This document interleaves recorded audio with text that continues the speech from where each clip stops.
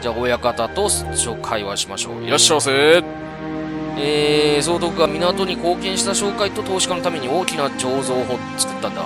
えー、港の人たちは成功祈願のため彫像のところに行っている。一応行ってみてはどうだと。じゃあ、行きましょうか。と思ったら、えー、なんかすごいな。え、ちょっと発展しすぎてないか、この。風の谷、え？あ、すごいな。え、これがもしかして、その、皆さんと交流できる場所ってやつかな？この、このゲームやってる人たちとの交流場所っていうところなのかな？参拝していったけど。えー、大切に使われた船には、た、えー、魂が宿るそうだ。ほうほうほうほう。スピリットってこと？あんでこれが強化できるんか。強化を選びましょうと。ほうほうほうほうほうほう。じゃあちょっと、また増進書の親方と会話していって、えー、入り口に人がりできるんだ。見てくれないか？あ、了解です。異国の武士？ほんまやな。もう、ぜ、絶対なんか三国志時代の人とっていう雰囲気、バラ、もろでやな。姫、早くお屋敷にもお戻りください。やだ絶対戻らない誰か助けて誘拐されちゃううわぁ、それは良くない。な、何をおっしゃいます？おい、あんたたち、その娘をどうするつもりだ？助けて、あの人に襲われてんの追い払ってくださいよし、追っ払ってやれやってやれやってれそして決闘戦、鎌首、おおよけだ異国の武士、おおあれ、異国の武士それなりに強いんじゃないか？割と強いぞ攻撃力はこっちの方が高いとはいえ、それなりにやるぞ。お、必殺技。名前がない。名前のない必殺技。おお、来た来た来た。どうだ？どうだ？あ、でも、割と押してるね、こっちが。波及の極意でこれで決まるか。あ、決めたはい。ということで、戦闘評価はちょっとあんまりよろしくなかったですね。おー、姫がいない。な、なんだったんだ？え、ていうか、戦ってる最中に姫、誰かに、そ、何？さらわれたってこと？やっちまったなおい。はいはい、どう、どうしました？最近東の海で大量の船が座礁していて、原因は幽霊船の仕業と聞いている。そのせいで最近は誰も、えー、何々州に近づくことして調査してくれないかはい。なんか探偵みたいなことやらされるわけか。あれ、とか、この時点で、いろいろめ、いろいろ選べるのかな？フレンドとか、えー、スキルとか、任務とか、人形、艦隊バック。じゃあちょっと艦隊を選んでみて、おー、こういう風に、特定アイテムで解禁ができると。はいはいはいはい。で、選出管理、選出強化、選出改造、選出紋章と。で、もう一つの方は？あ、ここそっか。あ、そっか、繊維が、そうだね。そっか、まず繊維をね、増やさないと。って言っても、円数巻と私主人公しかまだ今のところいないってことは、今後ストーリーを進めていくごとに仲間が入っていくってことかな？で、これが、えー、報酬ですね。通常防衛はまだできない。デイリーチャージセットということだから。これは、またあの、そのあの、1日以降、あれか、デイリーボーナス的なやつですかね。どうしようかな。じゃあ、とりあえず嵐山港。嵐山港で京都の、京都のあれあ、で、新しいステージに行けるんだ。なるほど、なるほど。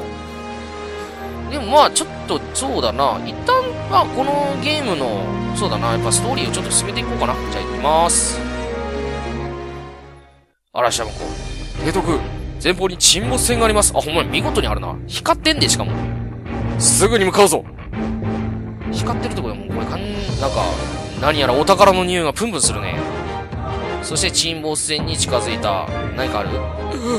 あ、これはまずいんじゃない？これは、幽霊。撃て！撃て！あー、しかも幽霊カンタが出てきましたよ。大丈夫？物理とか効く？こいつらに。回線。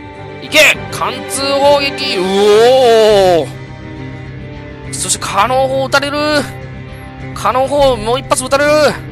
バッペルベルそして、おーし、よしよしよしよし。物理は効くようですね、幽霊戦とはいえ。そして、よーし。お見事でも、幽霊艦隊の第2、その第二正体が。さあ、ここも、貫通砲撃いいね。あ、防御下がった。そして火炎弾打ち込まれた。うわ、燃えちゃった。我々は死なんて。もうすでに死んでるからそれは死なねえだろ。死ぬってことはないだろ。いけいけいけいけ、ガンガン進めたれ。やったれやったれ。イエーイ潰した。ーそして何やらもらった。ーあ、鉄の塊。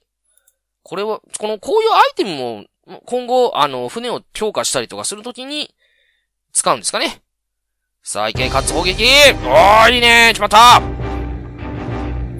撃ち込まれてる。撃ち込まれてる。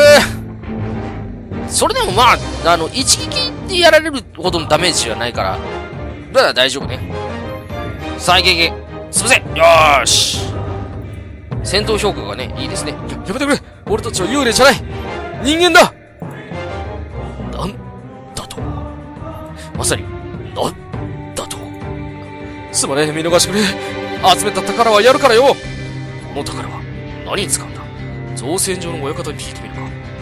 そうね、もう造船所の親方がもうすっかりもう、なんか仲間というか、じゃちょっと幽霊船の出現が、幽霊船が偽物？ん？こ、これは？な、なんだなんだ、親父。これは星図鑑だな。星図鑑？じゃあ星図版か。これがあれば夜間でも迷わず、せん、えー、これは渡航ができるぞ。良いものを手に入れましたね。これで行動範囲が広くなるな。星図版を使い、遠方の港まで積み荷を運んでみよう。早速攻撃し向かうぞ。おー、なるほど。貿易が広がる。商売がいい感じにできそうですね。じゃあ、塩攻守で販売。あ、ついに来た昔の人たちは重宝していた胡椒に続く大事な調味料、塩そしてじゃあちょっとこの塩を買ってですね、ちょっとこの甲州という町の方で塩をね、攻撃すると。いいですね。商売してますね。商売してますね。で、酒場の若者と会話する。いらっしゃいませえー、クキ様から提督へ伝言伝言を預かりしてる。おおなるほど。クキ知らんな。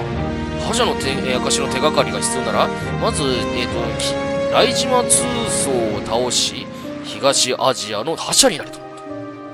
クキ誰だ？あい、わざわざありがとう。クキっていう気なのな。昔、あの、とあるかあのレーベルでクキっていうレーベルあったけども知ってるけども、それとは関係あるんか？ということで、まあでもこのち、ここの段階で、なんかできそうだね。おしかも行動力がちょっと減ってるな。うーんと、多分行動力ってことはこれスタミナってことですよね。レベルアップしていくと回復してってんのかな？なんか今全然気にせずやってたけど。で、あとはちょっと他のこの、この時点ちょっと他のメニュー見てみましょう。デイリー任務、デイリー抽選、成長基金、チャージイベント、カーニバル、会場カーニバル、初心者ログイン、商店、えー、掲示板、真珠探索、オンラインセット、チャージイベント、戦力アップ、クロス走破。じゃあちょっと真珠探索ってなんかすごい気になるな。えーと、へえ、え、こ、なにこれ、これをなんか、こう、ああ、なんか、そういう、あ、書いてる。真珠とか網とかが必要と。なるほど、なるほど。わかりました。で、あと、ちょっとバッグとか、なんかこの辺見てなかった？あ、めっちゃアイテム持ってる。なんかめっちゃもらってますね。じゃあ、ちょっとこれを、えー、バッグ容量を、あ、これどうしたらいいかな？これを、い、行く？行くって何？をクリックして基礎じゃあちょっと基礎っていうのをやってみましょう。えー、基礎対象必要考慮3、考慮30。何のこっちゃわからんけど、じゃあステージやってみましょう。なんか、お掃除的な何か？今、すごい、あれ？すごいなんか、左上のスタミナのところ、おずれたずれた。左上のところが、動い、スタミナ的なのが動いてたけども、大丈夫かな？ちょっとバッグの中のこの、この辺がよくわからんけど、えっ、ー、と、これが、お？何やら、ボノーニアが抽選でなんか当てましたよっていうのが出てきましたね。これもちょっとどんどんちょっと使えるもの使っていきましょう。せっかくだから。塩。すべて塩。で、これが？えー、戦術の改造、あ、改造の時に使うと。これが戦術解禁セットすべて使用。おおなんかいろいろ手に入った。戦術の解禁が可能。ほー。じゃあ行きましょう。あれ？ダメだった。やば、メイン進めろってことか。じゃあ行きます。じゃあちょっとこの船に揺られ揺られながらね、のほほーんと生活をこう楽しむかのように、船での生活を、でも船の生活って絶対過酷やと思うけどね。待っていたぞ。あ、レベル上がった。最近伝染病がひどくひろ流行っている。